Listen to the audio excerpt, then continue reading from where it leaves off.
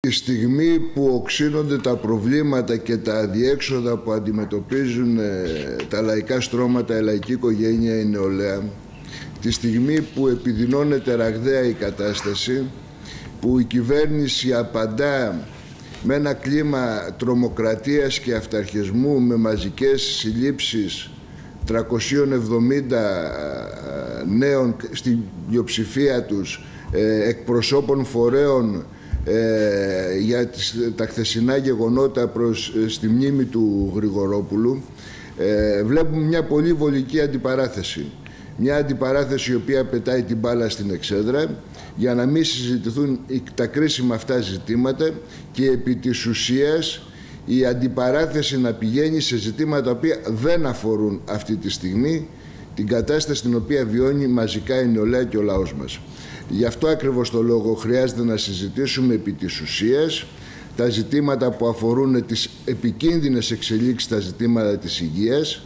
της δημόσιας υγείας και της προστασίας της υγείας των εργαζόμενων και του λαού, τα θέματα που αφορούν τα προβλήματα τα οικονομικά τα οποία αντιμετωπίζουν πλατεία λαϊκά στρώματα και πώς αυτή η κατάσταση θα αντιμετωπιστεί. Γιατί δεν είναι απλά και μόνο να περιγράφουμε την κατάσταση, αλλά και πώς θα την αντιμετωπίσουμε. Και εμείς λέμε πολύ καθαρά ότι αυτή η κατάσταση δεν μπορεί να αντιμετωπιστεί με άλλο τρόπο παρά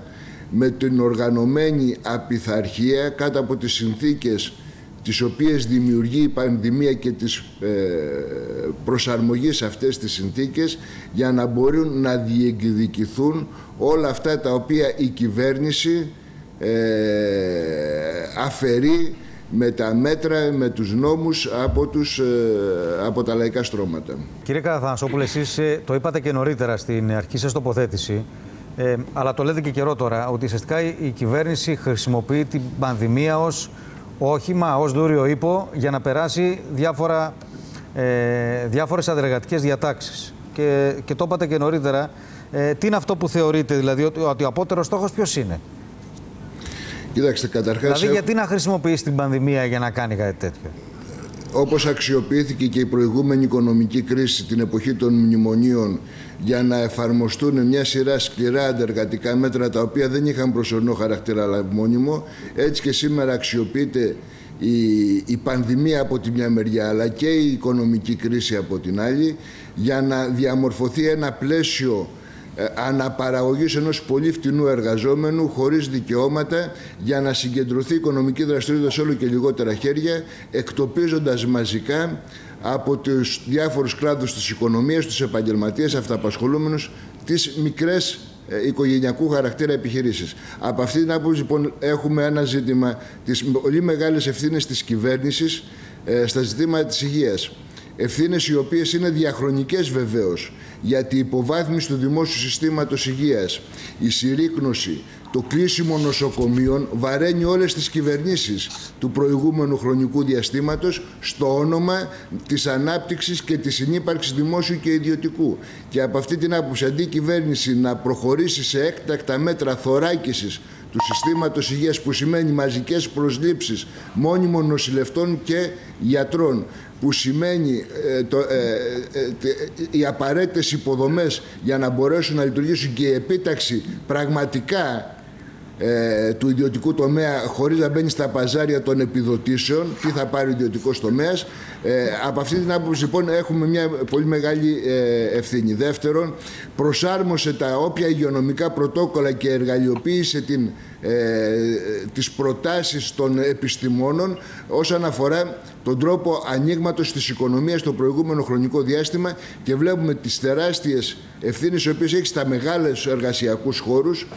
και ιδιαίτερα στη Βόρεια Ελλάδα που αποτέλεσαν πηγή διασποράς της πανδημίας γιατί αυτά τα μέτρα δεν εφαρμόστηκαν όπως επίσης και για τα ζητήματα του μαζικού συνοστισμού στα μέσα μαζικής μεταφοράς και αλλού. Και επί της οικονομίας κρατάει δύο μέτρα και δύο σταθμά. Κάποια επιδόματα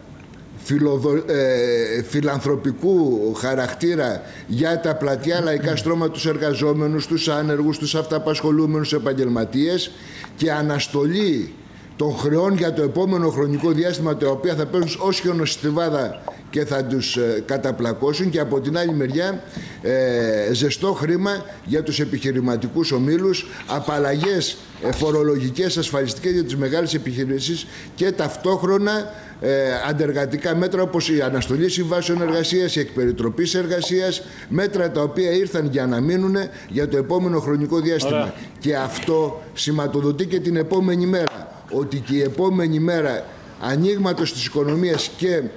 αντιμετώπισης των ζητημάτων της πανδημίας όχι μόνο δεν θα αποκαταστήσει τις πολύ μεγάλες απώλειες που έχουν τα πλατεία λαϊκά στρώματα αλλά αντίθετα τα δισεκατομμύρια των ευρωπαϊκών κονδυλίων αλλά και των κρατικών χρημάτων θα κατευθυνθούν στη στήριξη, στην ισχυροποίηση ακόμη περισσότερο των μεγάλων επιχειρήσεων σε βάρος των λαϊκών αναγκών.